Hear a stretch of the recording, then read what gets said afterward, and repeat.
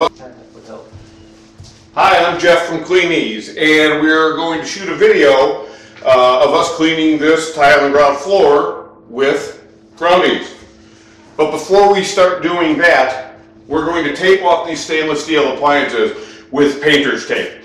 This has tape on one side and plastic. I think this one will probably go up 18 inches. I'm not real sure. Some go 18 inches, some go 3 feet. All depends on how messy you are or which one you can find that you should get to tape off your appliances, uh, your wood floors, your stone, anything you don't want to get Grout-eez on, it's a good idea to have painter's tape uh, and plastic. Ryan's going to start with the, We used it in our service business. Every job we went into. for, for years we've used this stuff. Um, it's really the easiest way to take every, anything off that you have. That roll is probably, I think it's 60 or 80 yards, I should look that up.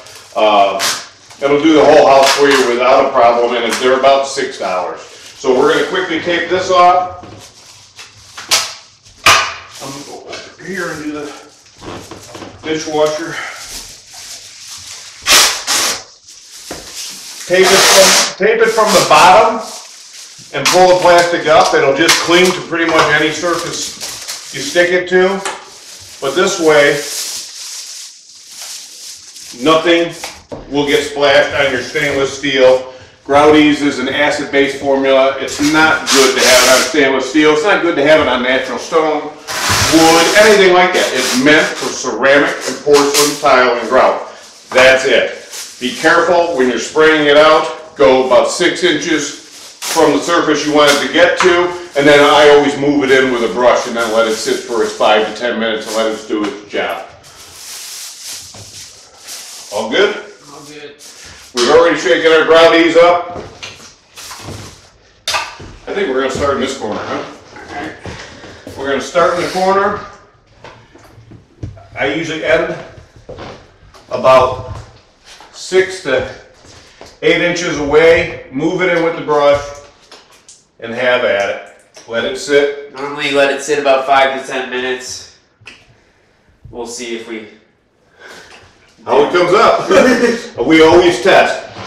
We always tell people do six to ten square feet at a time. That way it doesn't dry. That's really for one person. If one person's doing it, they put it on, they let it sit, they scrub it, and then they rinse it. We have two of us here. We're in a friend's house. They're coming back in approximately an hour. So we want to get this done and get out of their way. Um, Because we're also going to try and put a fan on this so that we can seal it and show you how to seal it as well. So. show you the easy way to seal this. But this is probably going to come up pretty easy. This isn't a very dirty tile and grout, but our friends are selling this house and we're just going to, we're trying to touch it up for them, make it look real nice for them. Easy as that. Let me start scrubbing.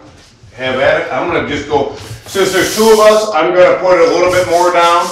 I'm going to go a little farther than the six to 10 square feet. And to be honest with you, I've been doing this for 20 years. We know how to move fast. And we know how to get it done the right way. Is it coming up? Oh, yeah. You really don't have to scrub that hard. Depending on the level of grease, really. Grease is the biggest culprit when it comes to tile and grout. These people take care of their house very well. Um, and they do it often. because they know us, they get Grout-eez all the time and they clean this a lot. It's been probably two years now and since they cleaned it, so.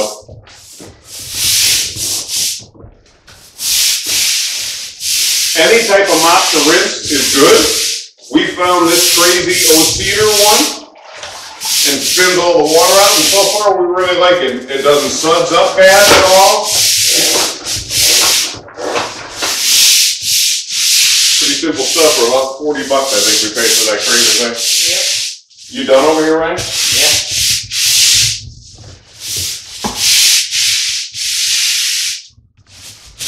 Can you see the floor?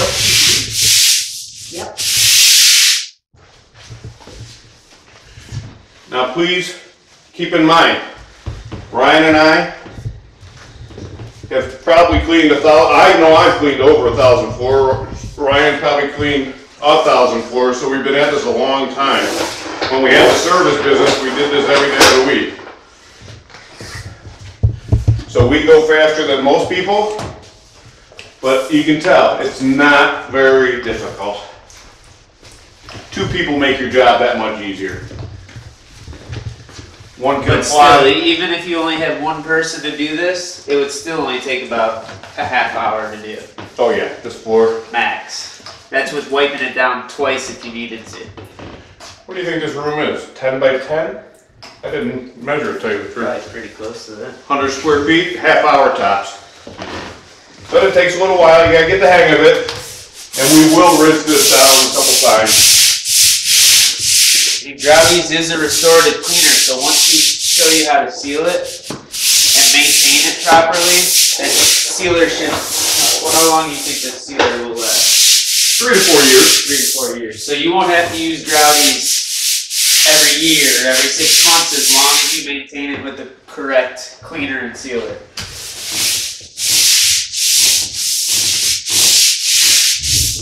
Good over here, Ray? Uh, no, I didn't get to it.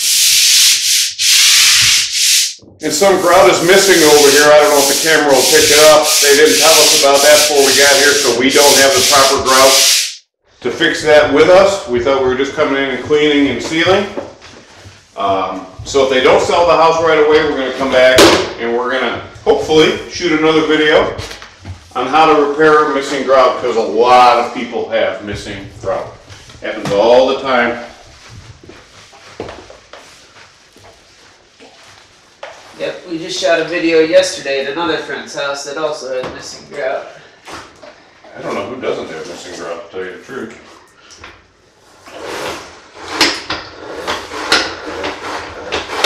This mop is unreal. We usually show people how to do this with a sponge mop. And sponge mop works well, it just gets a little foamy, the Grout-eez, because it's mixing with the grease and everything else that's on your floor. So every time we were pushing the mop down, which we've done for years with a sponge mop, it would foam up on us. We decided to go with one of these mops and see how it worked. So far, tell you the truth, I'm loving it. It's microfiber, right? Uh, yeah, yeah, I thought it was just a cotton string mop when I went to go buy it, but it is microfiber. Oops, sorry. I, I think. Getting carried away. I think I did get that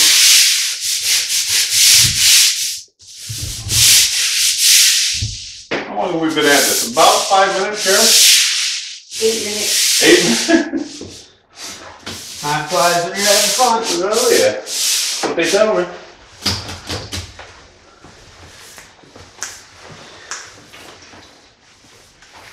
If it gets sticky, which we hear from time to time, it's not the Grout-eez. It's, well, I can't say that. Let me, let me rephrase that. It's the Grout-eez mixing with all the stuff that's coming up from your tiling grout. It you have grease on there, you have dirt, you've cleaned it with all sorts of crazy cleaners, and now we're bringing it up from the grout because Restories, or uh, Grout-eez will get right into the grout and, and pick everything up from it. I mean, it really penetrates into the grout and gets rid of stains and everything else. And that's really what's becoming sticky. So if it does do that, we suggest mopping it, then switching out the mop head, or washing it out real well if you don't have another one. And then putting a little, get hot water and then get a little Dawn dish soap. And that will break that bond and get, sorry, get it so it's not so sticky, okay? Um, we, people call to say the floor's sticky, I rinsed it two, three times. We tell them, give them that little trick and it makes things much easier for them. And it goes right away, one cleaning and you're good to go. What do you think? Yep, good. Okay, I'm gonna dump this water. Normally, what I would do is I would dump this down the toilet. We can't get at it right now because that's behind the camera. So I'm gonna dump it down the sink and run some water behind it. I don't know if you can see how filthy it was, but it was nasty. Way nastier than it looked when we first got here. We didn't think it even needed to be done. Yeah, when he called, we were like, yeah, we'll do it, but so be it. And now, He'll be thrilled. We're gonna put one more clean mop on it, let it dry, put a fan on it for about an hour. We said we wanted to be out of here in about an hour, but it might take two. Put a fan on for about an hour, get it to dry. If you don't have fans, all depends on how wet you get it. You can see now this grout's a little dark right now. When this dries up, it'll be nice and light, just like it was in the closet. Uh, this, I believe, is a platinum. I think that's what they call this. Um, I takes time. If it stayed like this, then. yeah, I like it like this.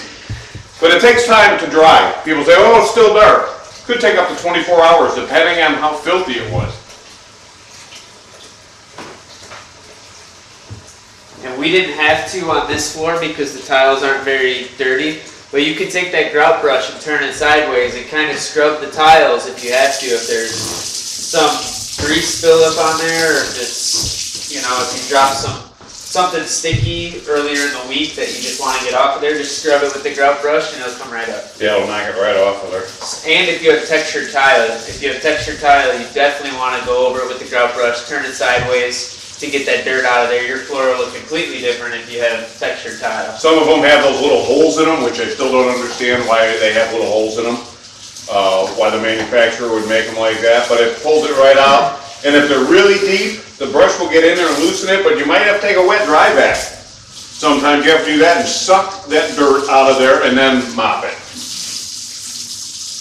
It's uh, it- you know, a little common sense goes a long way when you're, when you're doing tile and grout. We're just trying to show you the basics. And if you have any natural stone, do not use Grout-eez. We have another product called Stone-eez that's specifically designed for natural stone.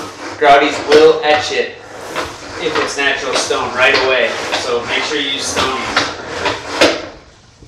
You wanna take? Just another quick once over.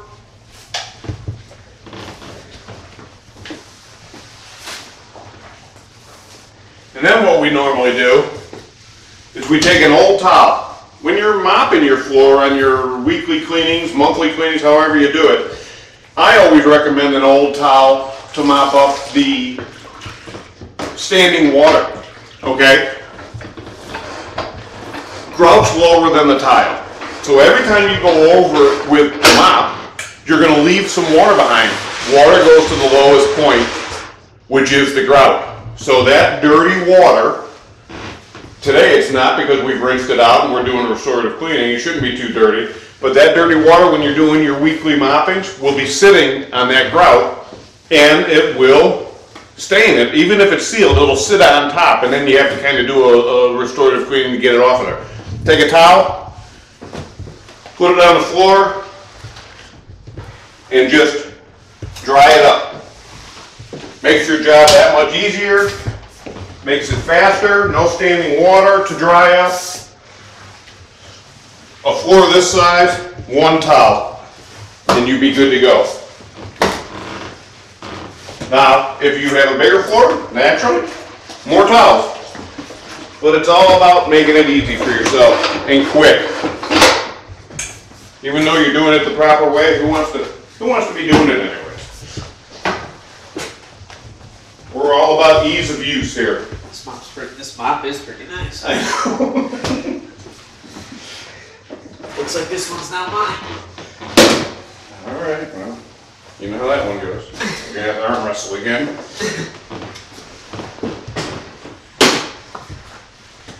Oh, I didn't get it. Whoops, sorry. Can you see that chair? Is it coming out? Good. Looks really good.